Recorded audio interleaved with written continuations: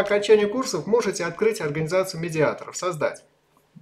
Судья, судьи, законы медиации, медиаторы, все просто. Медиаторы могут работать как соло-медиатор, медиатор, работающий в одиночку, или это коллегия медиаторов, либо со-медиаторы.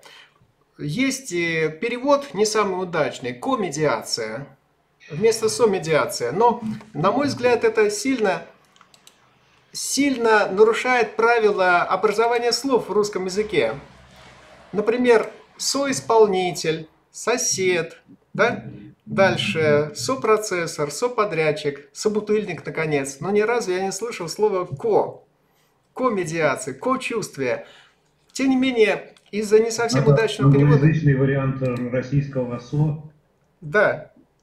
А, да, в английском языке коворкинг, коалиция там и так далее. Ну, то, то есть то же самое, что и «со» языке. Пожалуй, да, вы правы. Я об этом только впервые подумал. Коворкинг у нас тоже закрепилось. Итак, у нас присоединились Светлана Леонидовна и Евгений Викторович. Приветствуем вас. Мы сейчас сравниваем арбитражное разбирательство и медиацию. Будьте добры, откройте, пожалуйста, презентацию, которая у вас на почте. Если затруднительно, то я сейчас вам еще раз покажу вот это приложение. Посмотрите, пожалуйста. Мы сейчас рассуждаем по поводу вот этой таблички. Возможность третейского разбирательства в связи с каким-либо конкретным правоотношением. В случае, когда предприниматели или организации договариваются спорить, например, по отношениям аренды, то именно этими видами споров такое доверие конкретному третейскому суду или арбитражному учреждению и заканчивается. Это не значит, что мы с вами готовы спорить по договорам грузоперевозки, поставки и остальным договорам. Конкретное правоотношение – в случае медиации, пожалуй, действует тот же самый принцип. Поступает запрос на медиацию. Да? Правда, с правовых позиций исключительно оценивать медиацию нельзя, потому что можно выйти легко за предметы основания иска в юридических терминах. Ну, например, семейная медиация. Одна из сторон инициирует процедуру проведения медиации, связанной с семейным спором. Подача иска в суд. Здесь, очевидно, в случае закона медиации инициация процедур медиации.